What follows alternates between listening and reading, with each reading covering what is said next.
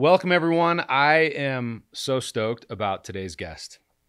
She ranks in some of my favorite people in the history of the world and in my life. This is my Aunt Jill, Jill Nystul, um, blogger, author, influencer, incredible writer, great mother.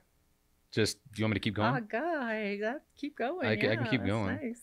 So, um, and former business partner, and uh, always a partner at heart. So, Jill is an incredible story. We're going to talk about it today. I had the chance to work with her. What was it? Three or four years? Three, four, I think it was four. four years. Yeah. yeah, four years. Um, and it has been, it has played the biggest role for me in where I'm at professionally, uh, and in the current state of the company here at Gigg. And so, this I've been looking forward to this for a long time because she is just full of wisdom, insight, and a lot of the things that we're doing at Gigg today. She played a significant role in me learning. We just were babies when we got into it. Right. Like we didn't know what we were doing, um, but we figured it out. Yeah, and we we're did. still figuring it out. Yeah, that's it's right. always changing. That's right. And she uh she's done some amazing things. Um she also you uh you wrote were you the writer or the producer for Good Things Utah? Or I actually uh, was the producer for Producer. Good Things Utah for five years. Yes. Channel Four in Salt Lake City. so you did that 5 years before One Good Thing, right? Yes. Okay. Gotcha. Yes. And you won a didn't you? I won a uh, uh, Emmy. I'm like, An I was gonna say Oscar. I'm like, no. I won an Oscar. I won an Emmy, a Yeah. regional Emmy, yes, for the best um, talk show. That's so the cool. region. Yeah. That was fun. Yeah, she is a woman with many talents. Um she uh babysat me many times. we actually many, many times. children's book. Uh, we're going to talk about that later. Um, I have a guest appearance in it of her changing my diaper. It's very little it's fantastic. redheaded Scotty. Yes, Scotty, as they called me. It's funny. Everyone calls me Scotty. Uh, we still call you Scotty. yeah, all the fam- family all calls me. Scotty, and any friends from my childhood back in Huntington Beach or Long Beach, California. So, um, yeah, a lot of great memories. Anyway, so um, I want to dive into this. So, so tell me about one good thing by Jillee. Now, just one good thing. It's one of the last things I worked on with her before. Yeah, you yeah, did. got you we did. locked You down got us that. onegoodthing.com. Uh, but one good thing by Jillee is where it started. How did this all start? Where did it come from? I um obviously have a creative background. I used to be in TV news and I've always been a writer and I produced the talk show. So after I quit that talk show, I went through a very dark time in my life. I was kind of for lack of a better term in a midlife crisis and I ended up um, dealing with my pain very poorly and using alcohol to help me get through it. And because I am a very addictive personality and kind of runs through the family, Yes, it does. um, I went down fast. Like I just went to the rock bottom, which is a blessing and a curse. Like it was bad, but at least it didn't last that long. You know how it could have been dragged out for years. I ended up going through rehab for alcohol addiction. Um, came out, and one of the things they told me was, "You need to find your passion, or you will end up right back here where you started." And I did not want to do that. So I just kind of as a therapy for myself because I was living one day at a time, as you know we do when we're addicts. Um, I decided to share, share one good thing a day, just once a day, as kind of my therapy. And I've always loved to share and Yeah. um, write. And I started it out online, and then I made my own little website. that if you go to like those wayback machines and you look at it, oh, it's so embarrassing. my my Part of team likes to bring that up and show me and embarrass me. So that was it. That was really how it started, and then um, it just gained momentum from there. I think it was a time in our culture where more women were. Um, women will always work and always are working, but they were caring more about what's going on at home as well.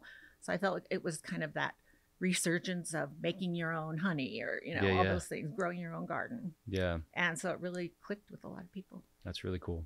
So one of the things that I respect most about Jill is her being open about where she has fallen short in life. And she she's very open talking about addiction and, you know, alcoholism that she she suffered, you know, from for a long time. But um I I just I, I think that is so powerful. I mean, what what would you tell? I, I actually think that it played a significant role in in your success. Absolutely. And I mean, it's hard. It's hard to to find common ground with certain people, especially online, unless there's something you can link to. And there's a lot of people Right. that suffer from addic- addiction.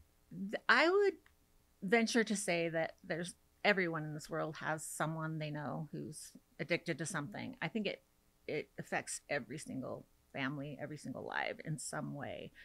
So I think that was kind of the something I had in common. And then the the fact that I was willing to share it, it, it kind of shocked me that people were shocked that I was sharing it. I just don't know another way. Like I can't. I don't want to just keep secrets and stuff like that because they never stay secret and then it's just a you know it's But most people do. yeah most people do. Why? Why? So so tell me why. I want you to pretend for a second like you're talking to someone that suffers from an addiction. What would you say to this person that that needs help and should open up about it and the power of opening up about it? What would you tell them? I would 100% tell them to find someone who they trust and open up to them about it. Even if it's just your friend who doesn't know anything about addiction or how to get you help, just becoming free from that secret that holds you down and locks you in a cage, um, that will make all the difference in the world. And then getting the help you need. And once you share with someone, you'll just find the world of possibilities opens up. The universe just says, you know what, we need to help you, and and things will come out of the woodwork. Like the fact that I, where I went for rehab was just a miracle. That how we found it, and it ended up being the perfect rehab for me.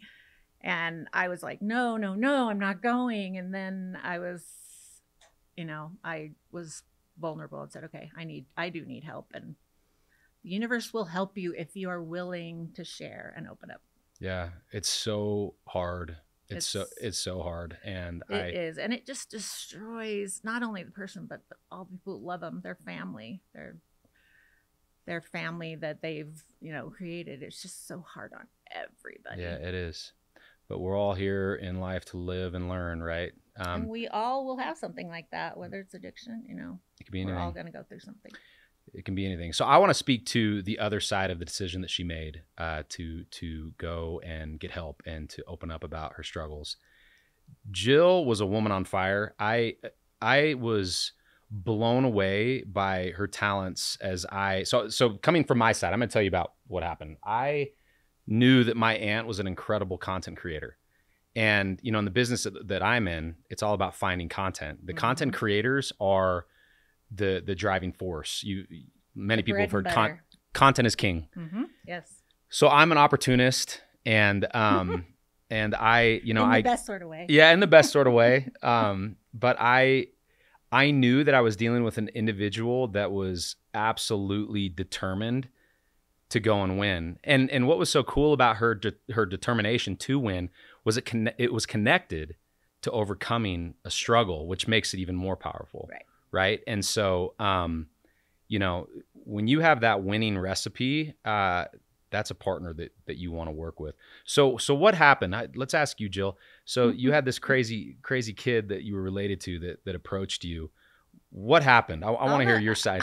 I'll never forget you said, "You want to come to my office and we'll talk about, you know, one good thing about Jillee." I'm like, "Sure, that sounds good." And I have to preface this with, I am not a business. I'm not trained in business. I didn't go to school for business. Creation, content creation is what I love, and that's really the only title that I will fully accept and say I am a content creator and I'm good at it. But the business side, I wasn't. So you said, "Why don't you come over and we'll just chat about it?" And then we talked about it and I realized this was the missing piece because I knew I could only go so far with what I knew, my knowledge. Um, and I, you know, I wanted to put all my effort into content. I needed someone else. And then you like took out your checkbook. Sometimes that talks, right? And you wrote me a check. I won't say how much it was for, but I was like, really? And I knew then you wanted to be in, you wanted skin in the game, and Yeah. you would be a big help. And I was like, let's do this. That's how it and started. that's how it all started. that was the beginning. You had, I mean, I have to give him credit. You had vision because this was in the beginning of blogging. Yeah. Like, I wasn't one of the original original bloggers, but I was pr- 2011. Yeah. So when I started, 12 years now. And so you had vision. Yeah, no, I, I, I appreciate that. and what what's really interesting um, and what makes this so special, I, I reference Jill a lot. So any any of you that are listening that you know are influencers or you know content creators, I guarantee you that I've mentioned Jill at one point. Um, it, it's an incredible world that we live in right now, uh, especially with regard to online content creation and creators. Creators are without question the most valuable asset to any platform on the planet. And I'm glad to hear you say that. well, it's the truth. I just I'm just speaking the truth, and um, it is it's it's a new age of marketing, and uh, you know I had I had been doing my research and studying the importance of content creators, and this was this was back. I think that we officially partnered in 2013, if I'm not mistaken. Very close. It, it was uh, a lot of things were happening, um, but but influencers were gaining traction on these different social channels Mhm. and platforms. Um, and I still remember uh, reading the article about Instagram being acquired. I don't even think they had made a red cent, but No, they were think acquired for like a billion dollars by Facebook. And I, I knew that something was was happening. Um, This was also the time that Pinterest started. that's right. That's right. Where you you did pretty well. You capitalized quickly I on. rode that wave as long as I could. yeah. Yeah. Eventually, you know, they became like everyone else. They wanted to be paid to That's be right. to be noticed. But um, in the beginning, we rode that wave. That's right. Um, and so the one thing that that and this is more of a kind of a telling the story, but also an educational piece, especially for you influencers, is Jill and I knew that uh, the best way to to drive dollars was to control a destination that you could drive eyes back to. So traffic is king. When you look at Facebook, you look at Twitter, you look at Instagram, you look at TikTok, you look at YouTube. They are the kingpins because they have the content. Uh, they also have we the, make for them. that's right. Exactly. so influencers making content, when you put it on their platform, you are helping line their pockets. hmm And that that's a good thing, but it could be a better thing if you leverage those platforms to drive eyes back to a place that you control the outcome. So so what is one when people go to onegoodthing.com right now, what are they seeing? Like what what's the experience that they're getting right now? Um, they come to our homepage and they see that we, I think we even have it at the top now, just as a line. You know, we help people live their lives better. You know, whether it's their home or their garden or their um, clothing. You know, we just give them tips that help them to make the life that they're living, which everyone has to have a home. Everyone has to dwell somewhere. That's right. We can make it easier and better and nicer. That's right. And Jill is a brilliant writer, but so creative about how she approaches her writing. And if you go to one good thing and you got everyone got to go check it out, you all got to go see it because it really is one good thing that brings goodness to life every single day. So whether it's a do it yourself something or other, a recipe, a piece of advice. Yep. We You do know- advice. That's right. We do a lot of cleaning tips. We do Yeah. a lot of um, we do a lot of uses for like you take your paper clip and you look at it and you're like, I wonder what you know I could do with this and we blow people's minds the things you can do Right. with a paperclip. Right. Right. and, And, yeah, it's it just started from that and and it just affects pretty much all aspects of a person's life, you know, that they have to run a home or be in a dwelling. That's right. And so so now let, let's go back to the discussion we were just having. Jill is putting out these amazing pieces of of goodness and helpfulness, like things to help people be better. So she tells those stories on her website. Now, if she was sharing everything on a social media page, that's great, and she's probably going to build her following. But she's working hard to create a following and to create a loyal fan base.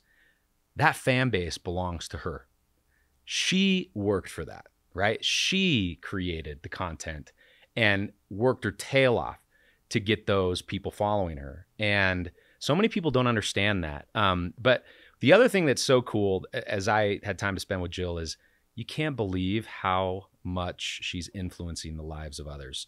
You know, I remember a couple meetings where she would read letters or direct messages from, you know, her loyal following, uh, folks that said, you know, you changed my life. Um, you shared a story with me about someone that gave you the longest hug of your life. Yeah, a couple of weeks ago, I was I was actually at an event supporting my daughter-in-law who was speaking at the event, and she works for me full time. Um, and someone just came up out of the blue and just gave, you know, just enveloped me in this hardest, strongest hug for the longest amount of time, almost to awkwardness. and she's just like, I love you so much. I never met her, didn't know her from Adam. And uh, it's not like that happens to me all the time on the street, but Yeah. you know, I just, I was like, I'm so touched by that. And I get those emails all the time. You changed my life. How how does that make you feel knowing that you have that kind of influence on people? Like that responsibility or that like how does that make you feel? it it's kind of awe-inspiring really i mean in on a negative level it's like uh you're trusting me with all this but over the years me and my team have developed the ability to share ideas that we know help people and so i'm very confident of what we have to share and so i feel great about it i love sharing these things that change people's lives Uh, that's so cool. And just for the record, Jill has reached hundreds of millions of people globally. Um, it's quite fascinating. It was so exciting for me watching, you know, how many millions of eyes were coming to the site. I remember I had a counter on my website Yeah. when I began, and so I could see it click anytime someone came, and which is so bizarre nowadays. But it just kept clicking and clicking and clicking and clicking and clicking and going faster and faster and faster. I remember I was at my mom's one day and it hit a million. I mean, that's just collective, but this was in the very beginning. Yeah. We were just like, woo, you know, celebrating. And now, you know, we get 100,000 visitors a day Yeah, and we don't think much about it, but it's crazy. you know, it's a crazy. So what what's been the ticket? This this is always really interesting with like so you want to be an influencer. So you want to be a blogger, you want to put content out.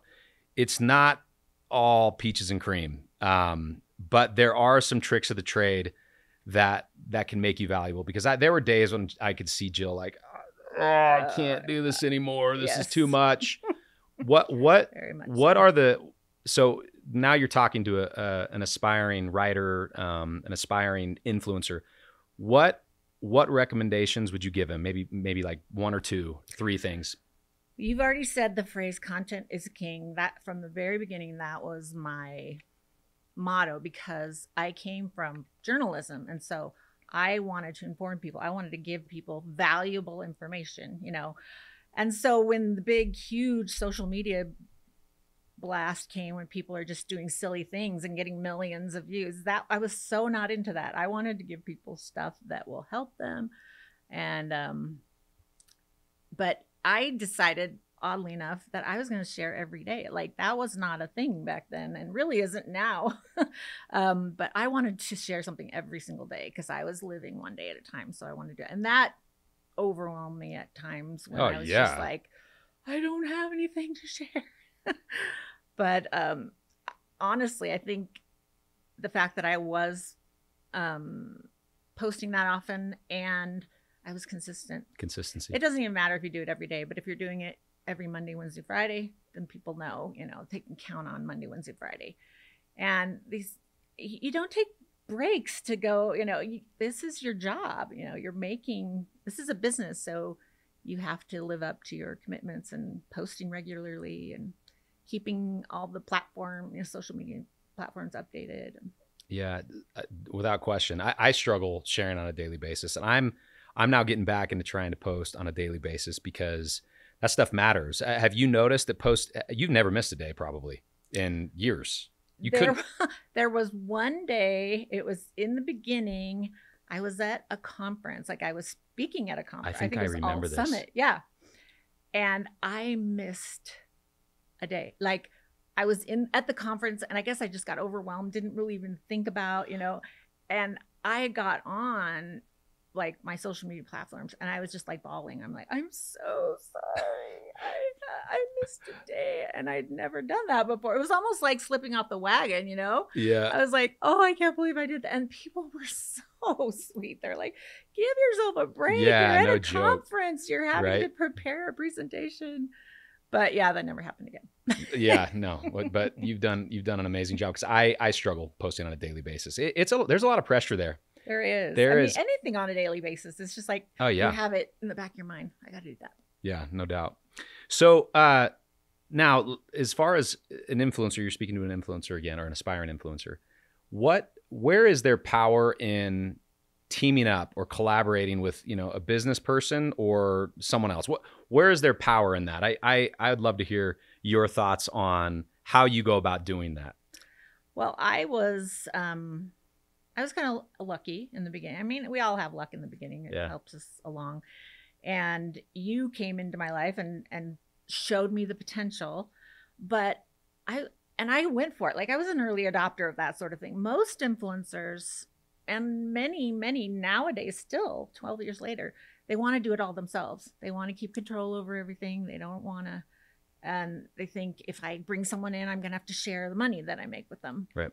Not realizing they could be making so much more Right. money and it would be so much and I I understand that from the beginning. I you and I clicked and I just I got it. And I still over the years I'd say I have a business partner and people are like, "Really? You have a business partner?" I'm like, "Yeah." It just it was a win-win for both of us. So being willing to bring in someone who is a professional and knows what they're doing from day one, you and I decided that email was going to be important.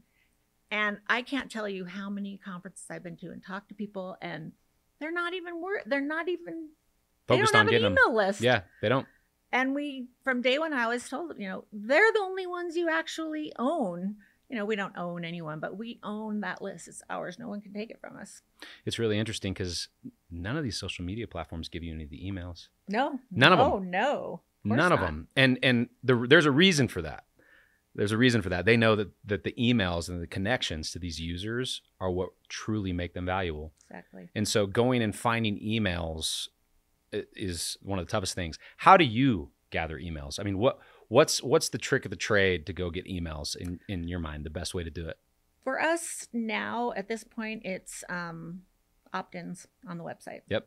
So we have a pop-up for new people that come that comes up right when they come. yeah to the the first website. time they show up Yeah. boom there it is yep And now we've actually started doing a new one, but we've done s- several different iterations over the years. Whereas once they've scrolled to near the bottom of it, it pops up like everything shades behind it and it's just, you know, highlighted. So yeah, opt-ins is definitely So should you? So when an influencer steps into the game, they, they got to know their reasons for it. Some people do it for Right. fame. Some people do it for following. But if they're there to make money, right. would you say that the number one focus should be around gathering emails? Absolutely. Yeah, because that's that's how over the last I'd say 3 years our organic traffic has gone down because we ju- there's just so much more competition than when we started. That's crazy. Like I'm competing against Women's Day and Real Simple magazine and Family Circle. So there's going to be, you know, less to go around. So as our organic traffic has kind of leveled off and gone down, we still have those email subscribers and they get sent every day our post of the day and they make up for that. Yep. So it helps in every aspect and then on campaigns that we do with people. Yep. So what would you say following emails? What would you say is the next best place to go, or be thinking about as you move into looking to monetize your your content? Um ad revenue is always been our like Bread and butter, bread and butter. Yes, ad revenue and then sponsorship opportunities. sponsorships. Those are the main ones. See, those are my favorite things to do, and this is one of the reasons that Jill and I had so much fun excel. together. I mean, so so now let let me let me speak, you know, as an entrepreneur side looking at a content creator like Jill.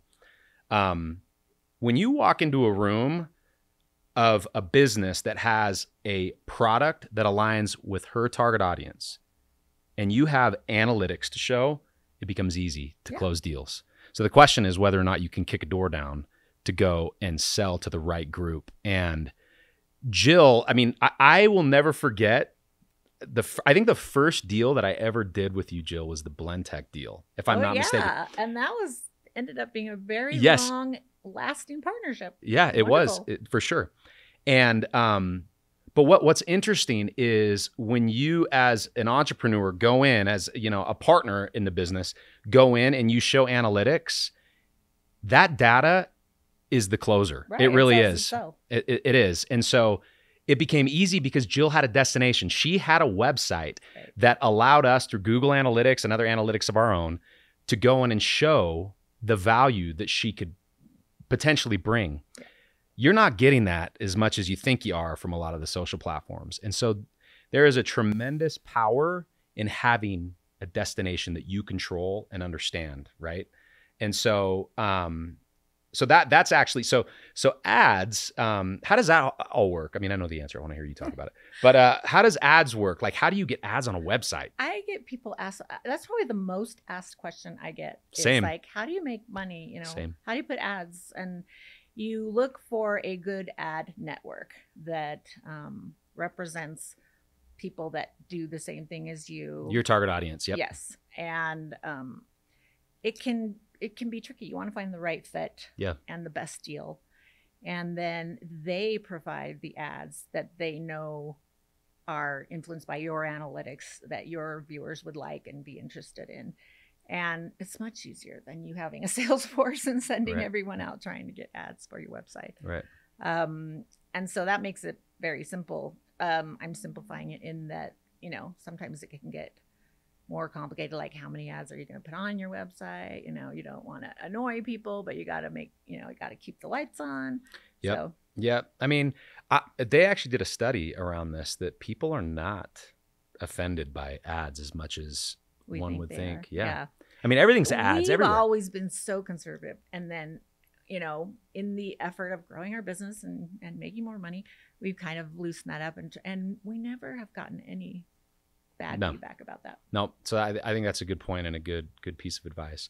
So sponsorships, how do sponsorships work? Do people hit you up? I mean, how does that how does that work? Um, we wish that all people were just like knocking at our door. That does happen too if um, someone hears about us and, and is interested. But most of the time, it's us knocking on their doors or just finding um, products out there that we think will be a good fit and then just approaching them.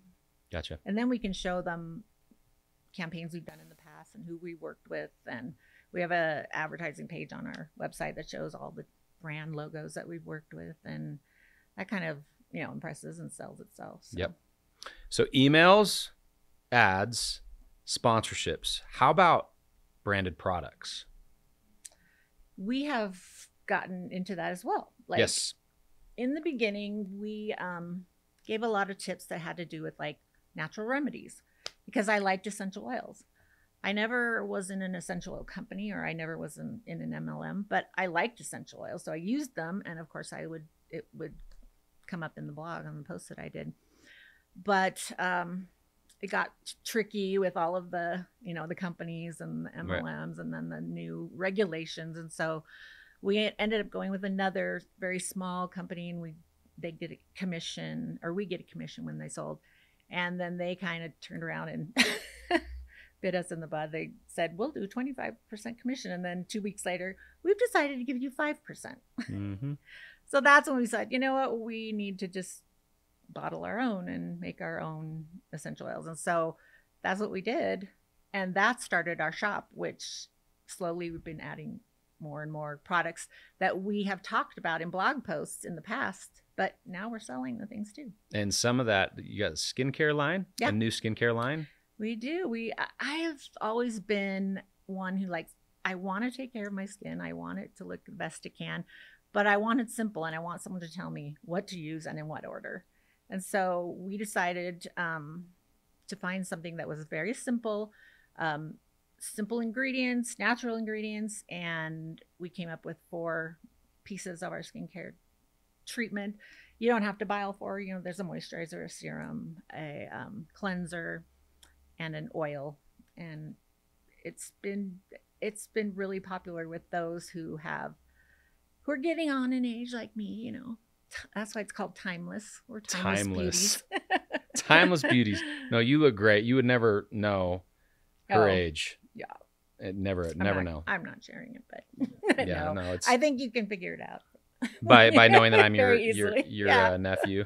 yes So uh so what is the what is the what's next for for one good thing? What what is your focus or what are you moving into? Is there anything on the horizon that you're pushing? I know the skincare line. Is there anything else that you're looking to do outside of just sharing goodness one one time a day? there's a couple things that we and this business is like this it's just like it's not Yeah. like up and down it's more like you know maneuvering through all the different changes it just is always changing so you have to be able to change with it um, we've kind of gone back to the basics as far as we're working on our seo more now because there's so much more competition for organic traffic we want google to like us and send us uh, traffic. We're also, with the success that we've seen in our By Jillee shop, um, we're pursuing that more because that's a whole another revenue aspect that has kind of been, you know, a little supplemental, nice to have, but it's becoming more and more. Um, we actually, a couple months ago, our ad revenue equaled our shop revenue, and that was pretty amazing. That's that's awesome. That's that's Yeah. amazing. so we're really focusing on those two things right now, Very cool. and Very- we always focus on email. I mean, that's always in the back of our minds. yeah, emails are huge and crucial. How many people on the team now? I don't even know. I haven't even asked. Uh, Chris- Chris still around? Caitlin? Chris, Britta, Caitlin, Caitlin, Brittany. They're all full time, and then I have people that help from on location. I have someone in Arizona, someone in Los Angeles, someone in North Carolina, and they all we all work together. So I think there's ten or eleven of us right now. Gotcha. Um, very cool. That's Yeah. that's so cool. It's And kind of amazing. When Yeah. You think about it it really it really is. It, it it's it's it's fascinating and amazing and and so exciting. Like and you were part of the beginning of it. it, very, very big part. yeah, no, it Not was, to mention the book deal you got me. Yes, the book deal. Yes, I actually that was it a very exciting part. Oh, oops. Here's the book. Uh, she's an author, and you need to check this out. This is a great book. It is.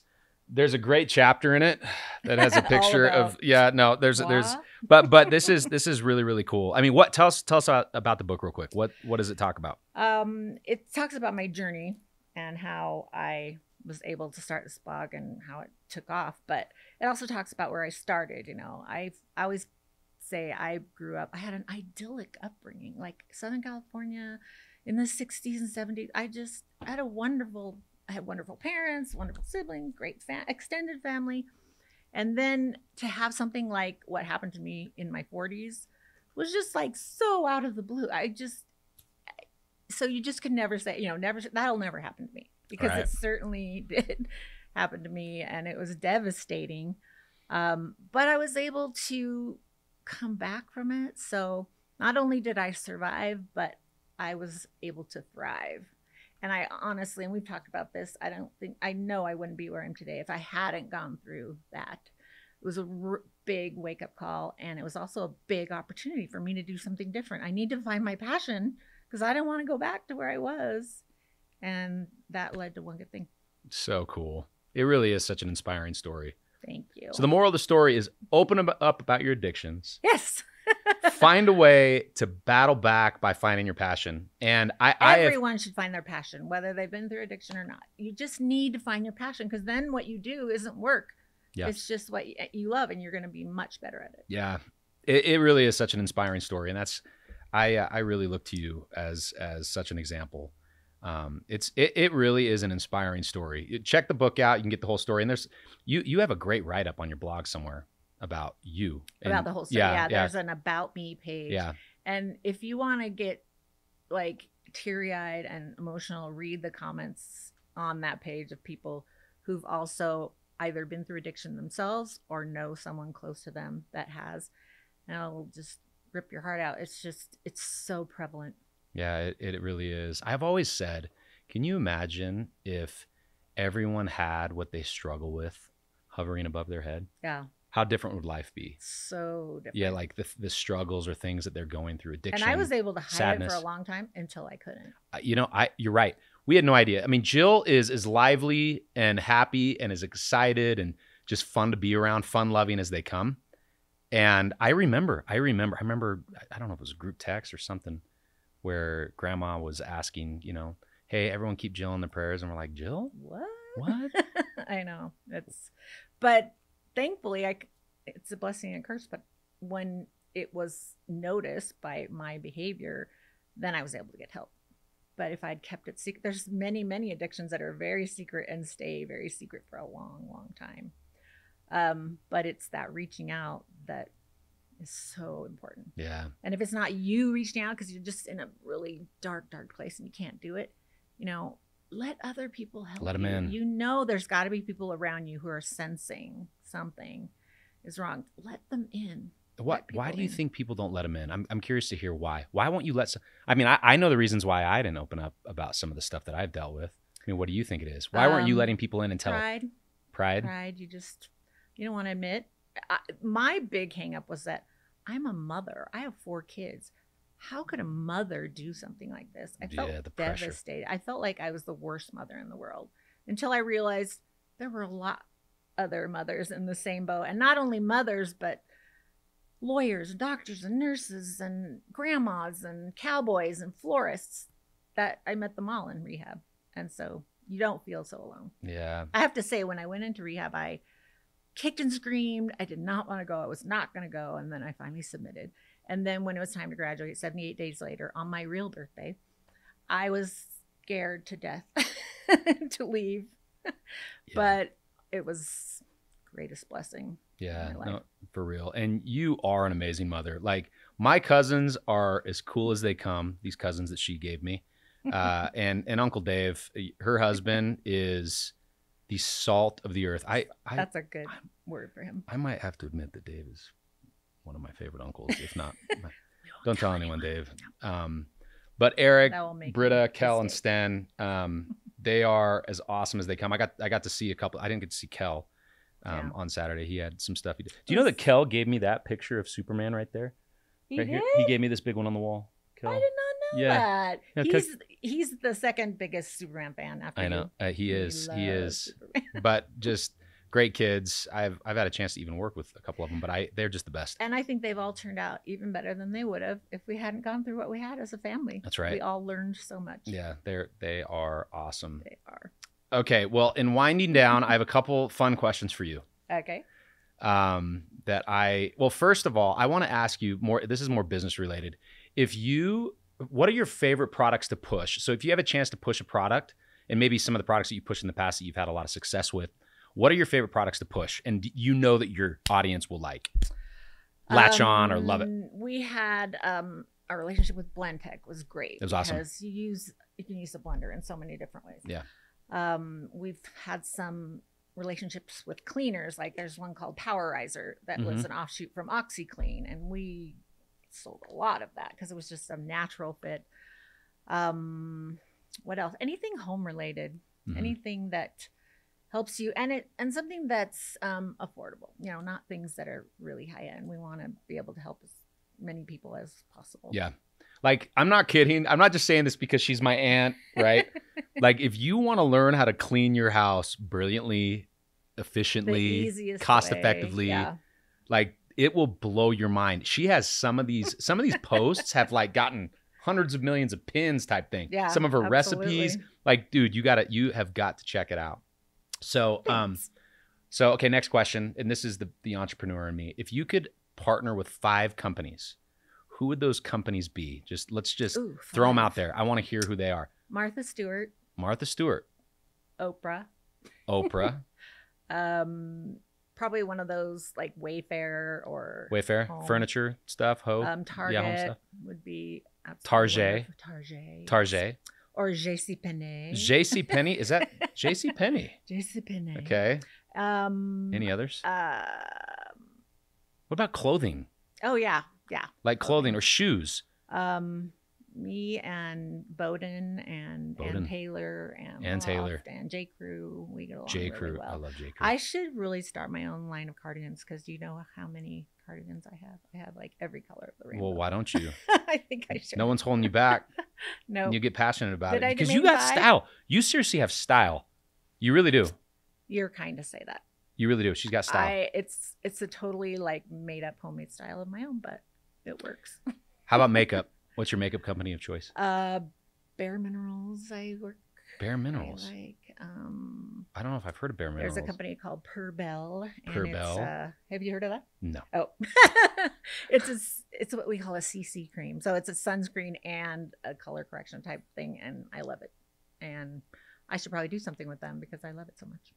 Well, let's. Uh, I, I am taking note. Just FYI. Yeah, anything uh, and organization, anything like Home Edit or Yeah. the Container Store. Yeah, oh, love that. And gardening, garden. Any Oh, proven gardening. winners if they want to come to my house and I help I, me plant the house. I have recently discovered a love for gardening. Does that make me Oh. old? No, it means you come from gardening. Well, grandma. Yeah. gra- like her mother, my grandma, Yeah. was like award winning. Yes. Garden. She actually did win an award for a garden. She did. like a community award. She like was on the front cover of a magazine, like of a garden. She Anyway, it's has in our blood. It's funny to see it trickle down to the nieces and nephews now because it didn't, you know, when you were younger, obviously. But but Nate now is this another nephew's Yeah. really into gardening, and to hear Yeah. you, I just love it. Oh, it's it's so fun. It's like your yard and is your canvas. too. Eric's in- Yeah, I know he is. Okay, now let's get into some fun questions. To get to know you a little bit better. What is the first concert you ever went to? Jackson Five. Are you serious? I'm that might be the coolest one I've heard. Jackson Five at Dodger Stadium. your Shut up. That that place. is officially the coolest concert for the first ever that I I've I ever was heard. I was probably around 16, 15, 16, and they were performing at Dodger Stadium. Wow. And we went, and I was actually on crutches at the time. but I I had to go and I had to be there. wow, that's awesome. What's the first album you ever owned?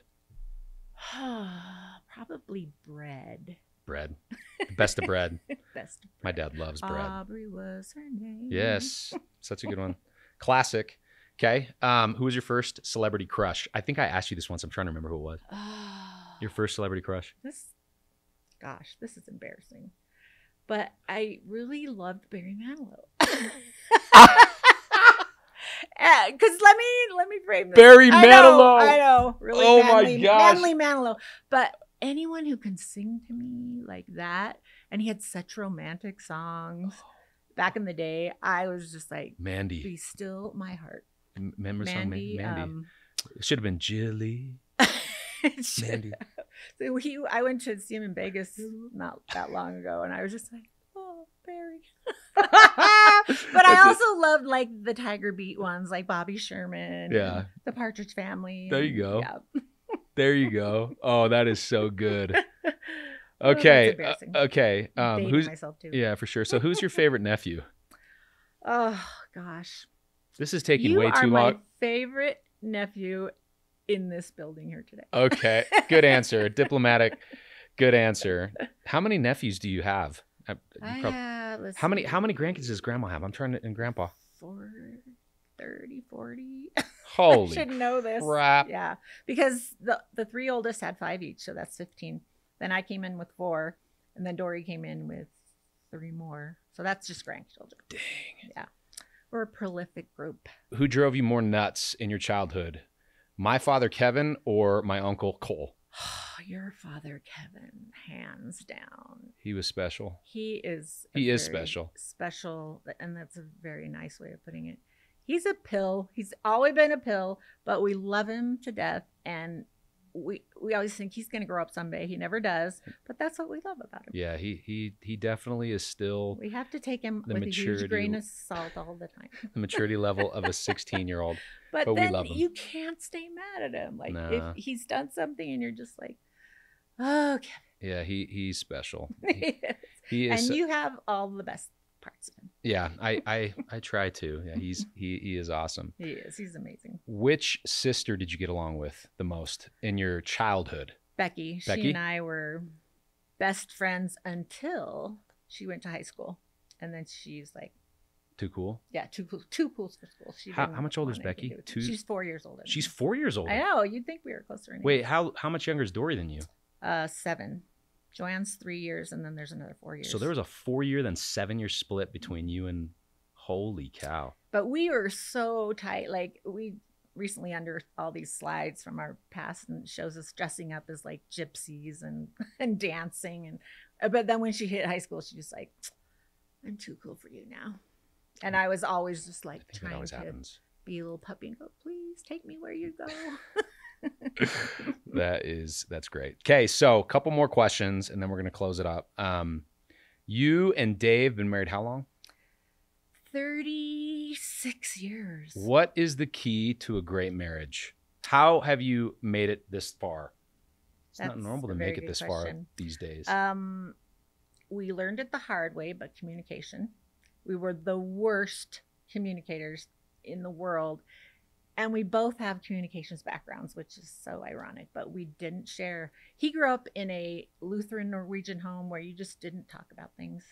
And I grew up in a home that we're a lot better at we are now, but we just didn't talk about things that were, you know, uncomfortable.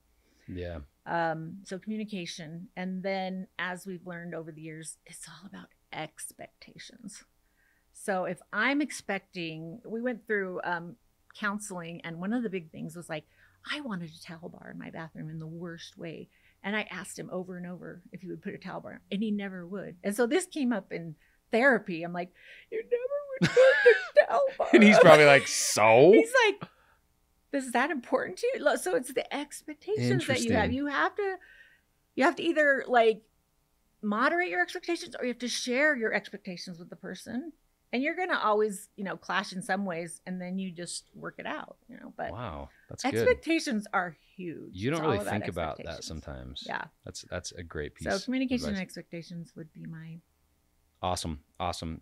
Now, my final question, I have one more simple question that I always ask at the end of every podcast, but um, what is what is true success and to you in life? And then what advice would you give to anyone looking to become and do what you do, Jill Nystul, uh, as a as an entrepreneur or business Oh, owner? So what's true success? What's true success?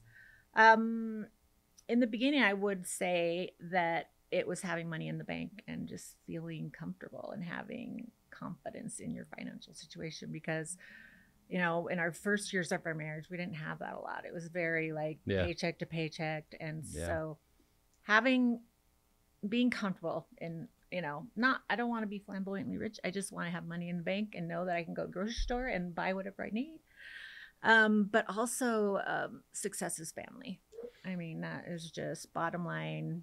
My kids mean more to me than anything. Dave needs more to me than anything. My kids are actually what really got me sober. It was the only thing I knew uh, they would never have another mother besides me. I'm their only mother. I'm their only shot. I had to get sober for them. Oh, that's cool. So family, family first for me always, and then feeling comfortable financially is just a huge one was for me. And what was the second part? Uh, what would be advice to a a you know Um, aspiring entrepreneur? Like what what advice would you give them? This sounds they- kind of trite, but find your passion. There's a a lot of creative exercises you can do to find your passion too. Like look at your credit card statements and see what you're spending all your money on. Um, that's Interesting. kind of enlightening. That's and actually interesting. yeah, I've never heard that. Just, just um, look at your life and see the things that you love the most, that you're spending most of your time on, that you're thinking about the most, and just go for it. You know, just have, and you don't have to like dive in head first, quit your job, and you know, just I may I build my thing while I was working full time, and the minute my paycheck equaled the amount of ad revenue that I was making, I quit It's awesome. and i so i would just say find your passion because that's i never wanted like a nine to five job like it terrified me to have a nine to five job sitting behind a desk all day Yeah. Oh yeah. that's why i went into broadcast journalism in the first place because i'd always be out you know covering stories um but you can find your passion in anything and if you love it it won't even feel like work It's so good. Passion is everything. It I, is. I'm I get up and I'm passionate about what I work on and I'm happy for that reason. So that's right anyway, thanks so much for being on. oh you're welcome Seriously, love you. It's been a awesome. delight. Yeah. i love you so much Yeah, it's good times. Oh, last question. I already know the answer. Oh. I always end every podcast with a favorite cereal. This is hers. Is this yours now, or is it since you were a kid? You know what? It's This is for you. You can take it. Oh, really? Yes. Seriously? Oh, I love it. I don't so know. It's just a staple of my life. When I was growing up, my mom never allowed us to have sugar, any kind of that sugar. sounds quite familiar, so mom. we grew up with Cheerios. But when Honey Nut came out, I was like, oh. oh. They're so good. They're so good. So enjoy. But thanks again. Thank. Thanks for being on. Until next time, sayonara, everyone.